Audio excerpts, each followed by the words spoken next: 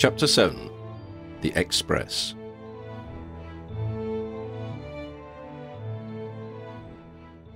It had seemed crazy to Lydia to travel down to London to catch a train, which was then going to spend most of the day going back north again.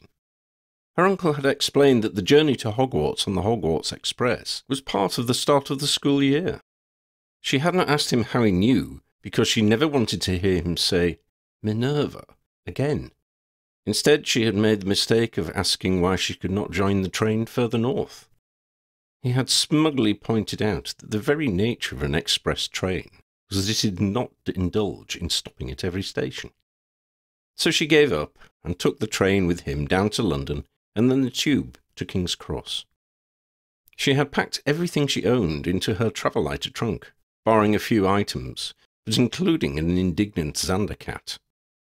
She had already installed a sofa, a litter tray, and a scratching post, a paw operated drinking water fountain, and an assortment of foods and treats he had previously approved.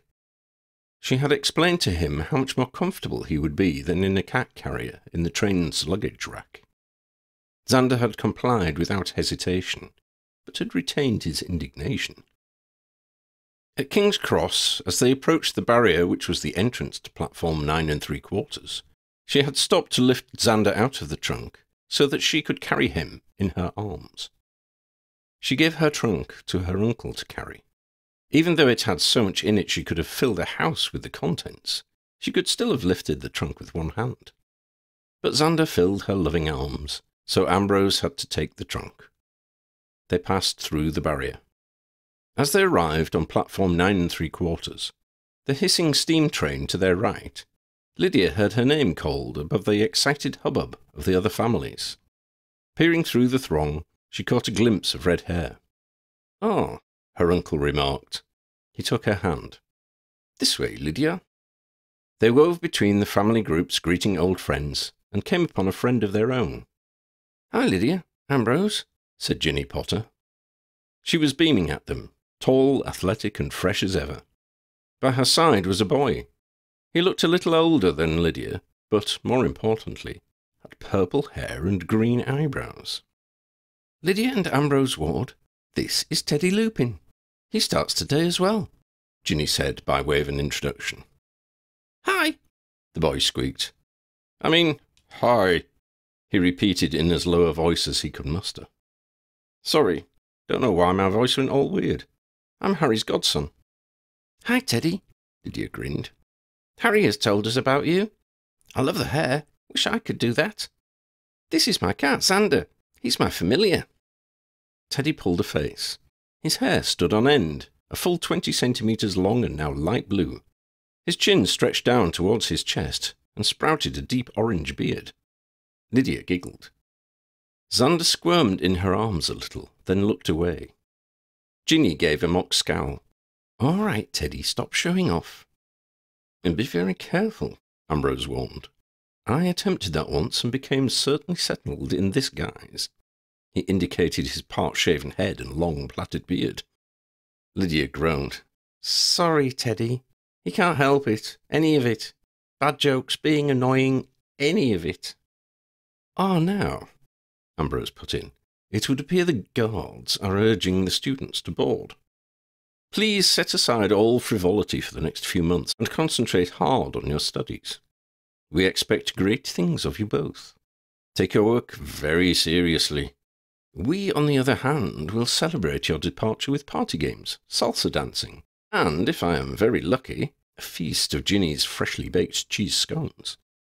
Ginny laughed and shook her head. Roughly translated, have fun, do your best, and we will miss you. Don't forget to send us owls when you get the chance. She turned to Ambrose. I'm not sure about party games, but I do have a fresh batch of scones. And I can't wait to see your salsa dancing. Ginny, don't encourage him, Lydia warned. Come on, Teddy, before he gets any more embarrassing.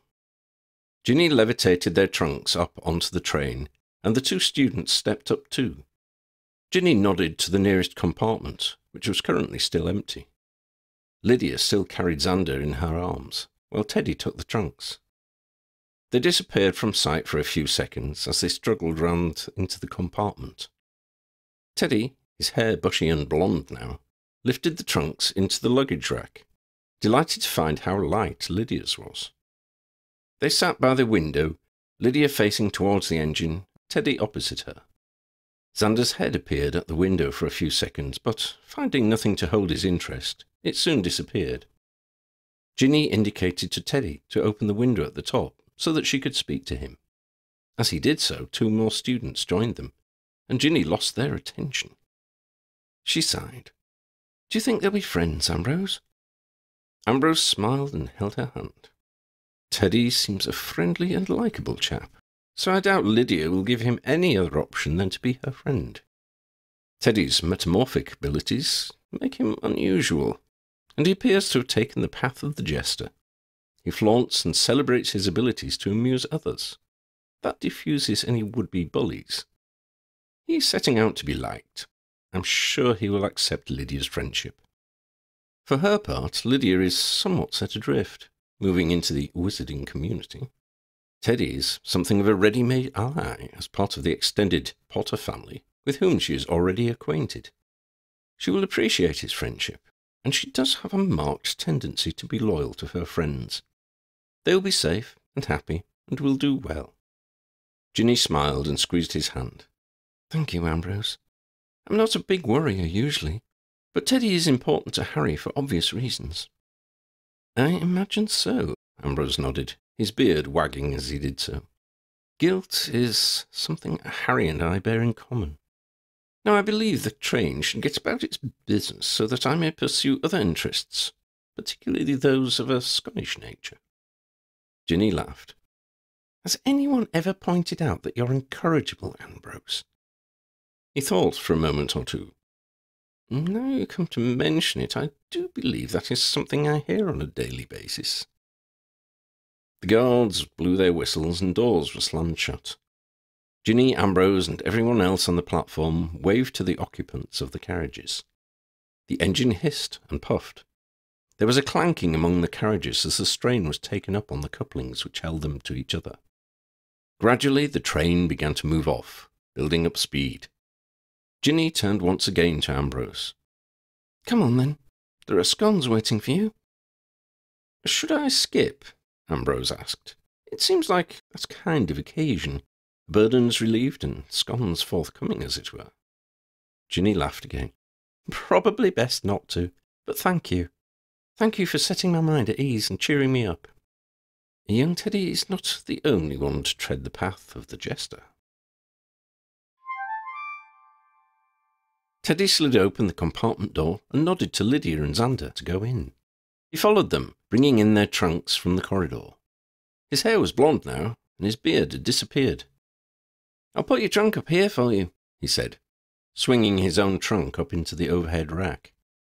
Lydia smiled and sat by the window with Xander in her lap. She waved to Ginny and her uncle. Wow, did you forget to pack? Teddy exclaimed as he swung her trunk up and hit the roof of the compartment. Lydia laughed. It's a Travellighter trunk. Draco, Professor Malfoy, bought it for me. I know Draco, he told her as he sat down opposite her. And Ron and Hermione. McGonagall, Hagrid, Neville and Hannah, and lots of Harry's friends. And Tempest Savage, the Auror. He looked out of the window and waved to Ginny and Ambrose. Yeah, I've met Tem, Lydia told him. What a brilliant name, Teddy enthused. I wish I had a name like that. So cool. Teddy Lupin. That's just a toy bear and a flower. Well, Lydia Ward sounds like a room in a hospital, Lydia commiserated. Where are all the people with sore bottoms? Oh, they're in the Lydia ward. Teddy hooted with laughter. Anyway, Lydia continued. You're cool because you can do all the metamorphomagus things. I'm just little and don't know what I'm doing. What? Harry said you and your uncle had done loads of amazing stuff that he's not even allowed to talk about. That's no good, though, she explained. I can't tell anyone about it. At that moment, Teddy noticed that Ginny was signalling to him to open the top window. As he stood up and did so, he heard the compartment door slide open behind him. Hi, said the boy, the younger of the two new arrivals. Is there room for us? Yeah, Teddy grinned. Of course, Lydia smiled. Xander lifted his head for a moment and gave his tacit consent by immediately lying down and curling up. The boy was slim, blond, and had a sweet smile, Lydia thought. I'm Freddie Fortescue, the boy introduced himself. This is my first trip to Hogwarts. This is my cousin, Fenella. She's a fourth year Gryffindor. Fenella, who had straight dark hair and looked athletic, swung her trunk up into the rack and sat down next to Lydia. She was frowning as she looked closely at the little blonde girl. I know you, she said, breaking into a smile as recognition dawned on her. You were at Hogwarts last term. Lydia, isn't it? You joined us in Comac, Care of Magical Creatures, with the unicorn folds. Oh, that's right, Lydia confirmed. I'm Lydia Ward. Aren't you in the Gryffindor Quidditch team? They stopped talking for a few moments as the train started to move. They moved to the window to wave to the people who'd come to see them off. Xander lay in the crook of Lydia's left arm and bore the disturbance stolidly. Fenella resumed the conversation as they all sat back down. I was on last year's team, but I'm not sure about this year. I'm a beater. That's what I'm best at, but there are some good players coming up. The beater's the one with the big stick, is that right? Lydia asked. Freddie laughed, and the girls looked at him. Then they stared at both of the boys. Merlin's butt cheeks, Fenella exclaimed. You two could be twins. Sure enough, Teddy's hair was currently the same shade as Freddie's, and they were the same size and physique with similar faces. Lydia thought Teddy was more handsome, and Freddie perhaps pretty, but the similarity was shocking and, in a way, mesmerizing. The boys looked at each other. Freddie grinned, and Teddy turned his hair purple. Can you tell us apart now? Teddy asked. Freddie clapped his hands. Oh my god, oh my god, oh my god! That is so cool! You're a meta something. Metamorphmagus. Teddy looked proud to admit it. Fenella sat forward. Wow, that is the coolest. All the girls are going to love you, Teddy. Teddy blushed and looked at Lydia. See, I said you were cool, she reminded him. Xander raised his head to look, then laid it down again. Freddie bounced up and down on the seat. Lucky you, Fenny. You're in the carriage with the three coolest first years. There was a knock on the door, and someone slid it open. Hi, Lydia. Hi, Fen. Tessa Gudgeon came in and sat down next to Freddie, who stopped bouncing and smiled at the older girl. I can't stay long, she said, directing her comments to Lydia. Seeing as I'm now Ta-da! Head girl. Oh, wow, well done. Lydia congratulated her. Anyway, I heard you were here, Tessa continued. So exciting to be coming to Hogwarts, eh? We'll have a chat later when we get there. Maybe at the feast tonight, okay? Yeah, I'd love that, Lydia agreed. And congratulations, head girl. Um, Eric isn't head boy, is he? Tessa laughed out loud. no, thankfully. Tom Torpington's head boy. He's really cute for a good boy. Lydia grinned. Must go, Tessa said, rising from her seat. Criminals to catch and everything. Oh, what a beautiful cat. Who are the boys? Introduce us, Lydia. This is Teddy, and this is Freddie, and this is Undercat, Lydia told her. Boys, this is my friend and head girl, Tessa Gudgeon. Twins? asked Tessa, Lydia noticed Teddy's hair had turned blonde again. No, Teddy Lupin and Freddie, Lydia started to say. Lupin, Tessa interrupted. You were in the Daily Prophet a while back, weren't you? Son of Remus and Tonks? By the way, Rita Skeeter is a hideous old bag. Take no notice of her. Gosh, Lydia, you know all the coolest people. Anyway, got to go. Bye. Bye, they chorused. Lucky girl, Fenella murmured. The others looked at her. Tommy Torpington's gorgeous, she explained. What does she mean, cute for a good boy? She likes bad boys, Lydia said simply. Takes all kinds, I suppose, Fenella supposed. She can hand him over to me any time she likes. La la la, said Freddie, putting his fingers in his ears. Way too much information, Fenny. Lydia looked at Teddy, who was sitting quietly. Why were you in the papers, Teddy? Fenella made an embarrassed cough. Freddie sat back and stopped smiling. Sorry, Lydia backpedaled. I just. It's all right, Teddy said. Has Harry told you about my parents? Oh, yes, he said. Oh, your dad. He was a. A werewolf, yes, Teddy nodded. The Daily Prophet article said I must be a werewolf too. It even called me the cub. Your parents were heroes, Fenella reminded him. They were in the Order of the Phoenix and fought at the Battle of Hogwarts and were friends with Harry Potter and everything, Freddie added. Anyway, it's really cool you might have been a werewolf and really great that everyone knows you're not. Teddy smiled at him. Thanks, Freddie. But even though the prophet took it all back, and there were quotes from Harry and from St. Mungo's Hospital, there'll still be people who believe it. Well, Lydia offered, tell them you'll bite some of them and I'll bite some of them, and they can see if there's any difference. Teddy had to laugh. It's not going to work, but thanks for offering. Cool and weird, Freddie enthused. This is defo the best room on the Hogwarts Express. Oh my god, we go to Hogwarts at last! Fenella looked at him with a smug smile. Some of us have been before, haven't we, Lydia? Well, some of us haven't, Freddie explained. And one of us has, but is still excited, aren't you, Lydia? I am, she admitted. I really am, but nervous too. Freddie grinned. Yeah, but you've got a wand now. We all have, and we're going to do proper magic, and it's going to be amazing. Come on, let's see your shiny new wand. Mine's older with unicorn hair. Mine's older too, Teddy beamed. Dragon heartstring core, though. Lydia? Lydia took out her wand and looked at it. Olive wood, with a demiguise and thestral hair core. Ooh, that's unusual, Fenella cooed. Oh, Mr. Ollivander doesn't make a lot with olive wood. Yeah, Freddie pronounced. Coolest wand on the train. Knew it. You said, Lydia mused. You two are Fortescues. Any relation to the ice cream parlour? Well, I'm not actually related to an ice cream parlour because I'm a person, but Florian Fortescue was our uncle. My dad, Ferdinand, runs the parlour now. Florian was his brother. And Francisco, Finney's dad, is his other brother. Oh, I've met your dad then, Lydia smiled. He's nice. Lydia, every Hogwarts student has been to Diagon Alley, so I bet they've all met Mr. Fortescue, Teddy pointed out with a grin. Well, Harry was friends with Florian Fortescue, so Ferdinand came and sat and talked with us. They sat in silence for a while. I guess you're the only one of us who didn't lose someone close in the war, Teddy said to Lydia. Lydia fidgeted for a few moments. There was something hot and uncomfortable in her stomach. Xander moved slightly, probably sensing the change of mood. I'm not sure, she said in little more than a whisper.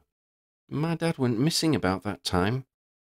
They didn't know I was listening, but I heard Harry and Ron talking about how lots of muggles got killed in the war as well. They thought my dad might have been one. You're muggle born then? Freddie asked. Lydia nodded. Fenella touched Lydia's hand and spoke softly. If he only went missing, there's still hope. And now you've come into your powers, you're part of the wizarding world, and you might be able to find out something. Freddie said kindly. Lydia blinked a few times. Thanks. I hope one day, you know. Freddie sat up straight. Right, so we're all tragic and incredibly cool, and we're going to rule Hogwarts. I think Finny should tell us all about it before we get there.